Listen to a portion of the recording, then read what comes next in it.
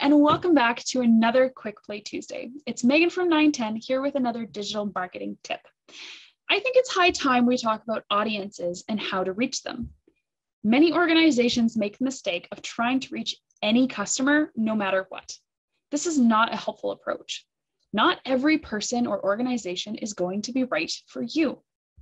The first step is figuring out who you want to work with. Envision the perfect client for your business.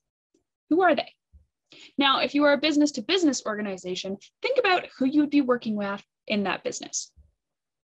Some key things to think about are their age, job role, industry, geographic location, lifestyle, values, needs, and concerns. Being able to envision your customer as a whole person will help inform how and where you speak to them. Next, you'll need to decide what language will attract this person. You'll want to write out some keywords for your business. Develop some headlines that outline your customer's problems. Now, if you're struggling with writing headlines, go check out one of our other quick plays on writing consistent and effective headlines. The last thing to consider is where your audience exists. Are they on Facebook, Instagram, or LinkedIn? Do some research on the demographics on different social media platforms, and maybe even invest in some ads training so you can target exactly who you're trying to.